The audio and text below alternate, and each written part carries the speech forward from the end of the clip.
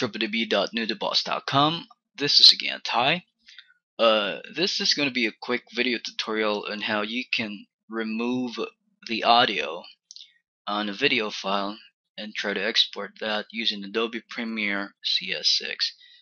Uh, open up Adobe Premiere and um, I assume that you already have a video file that you'd want to use but you have uh, I mean you are required to remove the audio from it. So you're just going to use video and have it muted something like that. So what you want to do is go to new project right here say uh, video mute. Let's use that like that. Uh, video right here time code audio audio samples DV this is gonna be alright just leave that like that. I got name right there uh, video mute click on OK and uh, frame rates right here. Uh, go to your video file. This is going to be the video that we're going to use as a sample. Um, right click on that go to properties. It's an MOV file. Uh, you could use whatever file uh, MP4 AVI it's all gonna work. Go to details right in there. It says frame width 1280 frame height 720 uh, you can use full HD like 1080p but I can't because the video that I have is limited. The camera that I used a Canon camera doesn't support 1080 so I just use 1280 I mean 720 and you got frame rate right here. Take a look at here. It says 720p 24 but this is 720p but this is 29 frames per second. So what you're going to do is uh, select that in there but you don't have an option uh, just for now click on 24 because it's going to automatically change the settings later. You got sequence name. Um, just paste the title of the project that we have right uh, earlier. Video mute. Again sequence name would be your video name like blank.mp4 blank.mov something like that. And just click on OK. It's going to manage to give you a workspace right in there you got uh, this is the, the, two important parts of, uh, of your workspace your preview and your timeline. So you don't have to concentrate much on this but on this too yes you would. So go to uh, the file. I mean go look up the file right here. Click on that hold drag drop in here and take a look at that. It's gonna say uh, mismatch with the sequence settings. Sequence settings like earlier it says uh, 24 frames per second but the original video is actually 29.97 so it's going to ask you if you'd want Adobe Premiere CS6 or Pro CS6 to match the settings for you automatically. You always would want to have this checked so that you could speed up your work. You don't have to verify and look up for the file and right click over that and check on properties. So just click on change sequence settings and it's going to match the sequence of your video file with the project that you have. Right, so this is a video sample that we have in here. This is one of the the videos that we created an outtake for for the video unboxing that we've had for a phone.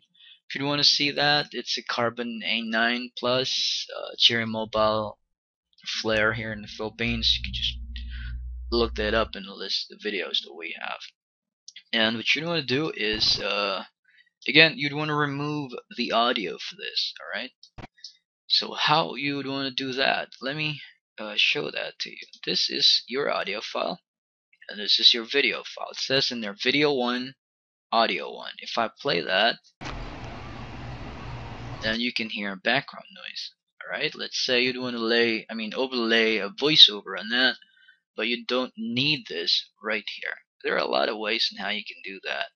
You could just click and hold on this volume bar right here, the yellow bar, or the yellow line I, could, uh, I should say, and bring that down to zero decibel. Now you don't have audio anymore, right? So if you export that, it's just like saying that your audio goes to minimal. So if you play it, then you don't have audio anymore. You can export that. It's gonna work. But uh, if you let me go back.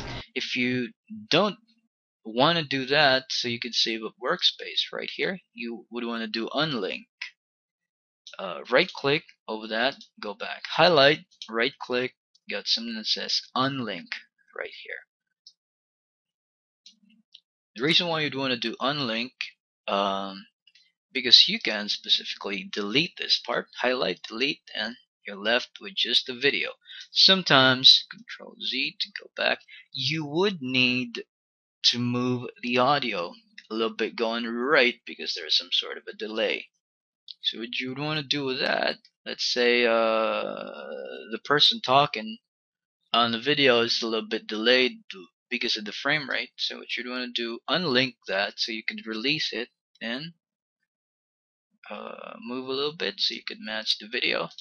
Then highlight again so you could lock it, right click, and link it back. Now this time if you pull it, it's going to be like that already. Alright, so again, two ways. Bring it down so you can mute.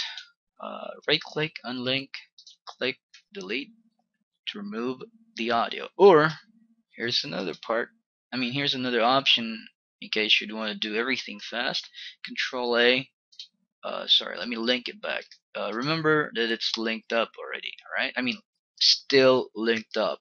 So what you want to do, go to, oh, let me just cut this so everything is fast. Control, oh, sorry, V. Let me just do it fast for you. There you go.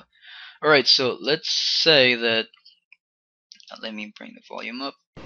Alright, still it's, it's, uh, it's got a volume in there. Uh, I mean, it's it's got a noise, background noise. You'd want to remove that.